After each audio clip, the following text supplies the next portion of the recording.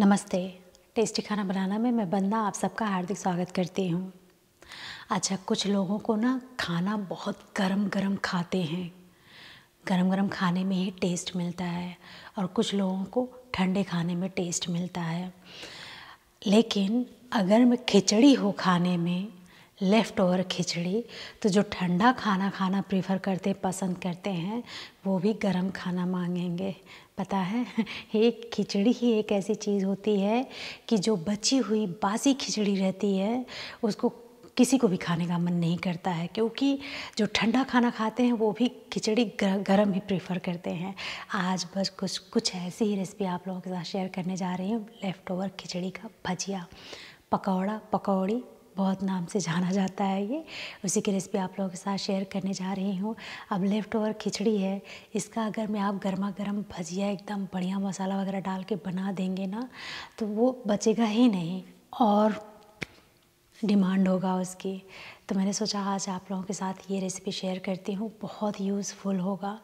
चलो हम शुरू करते हैं बनाना। यहाँ पे मैंने एक कप भर के एकदम लेफ़्ट ओवर खिचड़ी ले लिया है। खिचड़ी ना बासी देखने में भी थोड़ा अजीब लगने लगता है, ऐसी हालत हो जाती है। और ये खिचड़ी एकदम प्लेन है। अगर मैं आप सब्ज़ी वगैरह डाल के बनाए हैं ना, उसको आप हाथ से मैश कर सकते हैं या मैशर से मैश कर सकते हैं, एकदम बारीक कर सकते हैं। अब इसमें मैं डालूँगी क्या? प्याज ले लिया है एक बड़े साइज़ का और टू टेबल स्पून बारीक कटा हुआ धन हरा धनिया है और टू टेबल स्पून ही मेरे पास ये आ, ये हरा प्याज था स्प्रिंग ऑनियन ये मैंने ले लिया है। ऑप्शनल है आप चाहे तो डालें नहीं तो आप इसको स्किप कर सकते हैं। एक टीस्पून मैंने बारीक कटा हुआ हरी मिर्च ले लिया यहाँ पे ध्यान ये देना कि जो मैंने प्याज काटा है थोड़े बड़े बड़े साइज़ का काटा है। एकदम बारीक हमें नहीं काटना है क्योंकि हम जब भजिया तलेंगे ना खाने में जब मुँह में ये बड़े बड़े बाइट आएँगे ना, प्याज के, बहुत अच्छे लगेंगे। ये सारा जो है ना, एक साथ हम इसमें ऐड कर देंगे सब्जियों को। अब इसी के साथ में ही मैं यहाँ पे आधा कप लिया है बेसन। ये बेसन डाल दूँगी।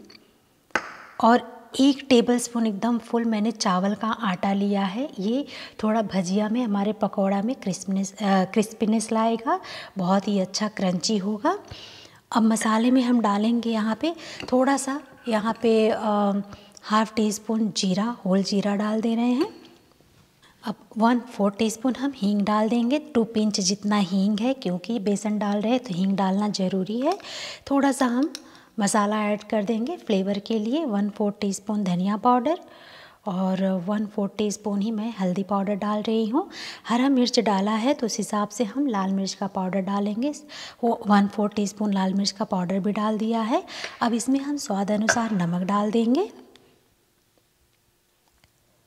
नमक इस तरह से डालेंगे। खिचड़ी में नमक है तो थोड़ा संभाल के डालना। अब यहाँ पे वन फोर टी स्पून ही हम यहाँ पे चाट मसाला डाल दे रहे हैं। चाट मसाला ना हो तो अमचूर का पाउडर नहीं तो आप नींबू का रस डाल सकते हैं। अब ये सारा इंग्रेडिएंट्स हो गया। अब हमें इसको हाथ से मिक्स करना है। पहले हमें खिचड़ी में प्रॉपर जितना, क्योंकि खिचड़ी थोड़ा सा गीला है तो पहले इसमें हम मिक्स कर लेंगे। फिर ज़रूरत होगा, ऊपर से हम पानी डालेंगे। हमें इसमें बिल्कुल भी पानी डालने की ज़रूरत नहीं पड़ी है। हमें इसी तरह से रेडी करना है इसको। अगर में खिचड़ी कम है और सूखा हो जा रहा है, ये हमारा तो आप पानी डाल के थोड़ा सा गीला कर सकते हैं। अब इसको हमें फ्राई करना है। तेल हम चेक कर लेते हैं, गर्म हुआ है कि नहीं। एक ड्रॉप डाल के देख लेते हैं। हमें बहुत ज़्यादा तेज़ गर्म तेल नहीं चाहिए। एकदम परफेक्ट गर्म हो गया है। अब ये पकौड़ा जो है, अपने मन मुताबिक बड़े छोटे साइज़ में आप इसको तल सकते हैं। एक बार में जितना आएगा, उतना हम डाल देंगे। इसी तरह से हम सारा डाल देंगे। इसको सेकने के लिए हमें मीडियम हाई फ्लेम का इस्तेमाल करना है। तो इसको उलट पलट के चारों तरफ़ से हम एकदम बढ़िया गोल्डन ब्राउन होने तक हम पका लेंगे। लेकिन आँच को बिल्कुल भी हम स्लो पे नहीं करेंगे, क्योंकि इसको पकने में टाइम नहीं लग रहा है ज़्यादा। उलट पलट के मैंने चारों तरफ़ से एकदम गोल्डन ब्राउन कर लिया है, देख सकते हैं। थोड़ा मैंने बड़े बड़े साइज़ का बनाया है भजिया। इसी तरह से आप लोग भी बना सकते हैं और बाकी का भी जो है हम इसी तरह से सेक लेते हैं। बहुत ही बढ़िया सॉफ्ट सॉफ्ट ये भजिया हुआ है हमारा। यहाँ पर हमारा एकदम बढ़िया लेफ़्ट ओवर खिचड़ी का नाश्ता बनकर रेडी हो गया। पकौड़ा, भजिया, जो भी बोलो आप। और इतनी जल्दी बना हुआ है और इसका जो फ्लेवर है ना बता नहीं सकती। एकदम मिक्स फ्लेवर आ रहा है इस भजिया का और एकदम सॉफ्ट और इसमें बता दूँ कि राइस का जो आटा है ना, आप ज़रूर डालेंगे क्योंकि उससे थोड़ी सी इसमें क्रिस्पनेस रहती है।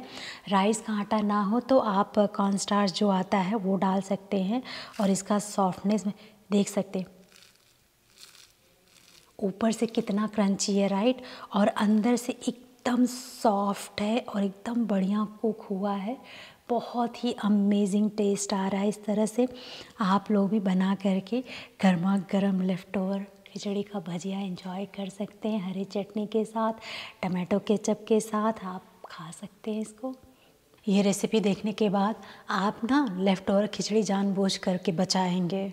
अब सुबह सुबह उठे और बढ़िया एकदम ब्रेकफास्ट में इसका भजिया बनाकर खा ले, चाय के साथ कितना अच्छा लगेगा ना।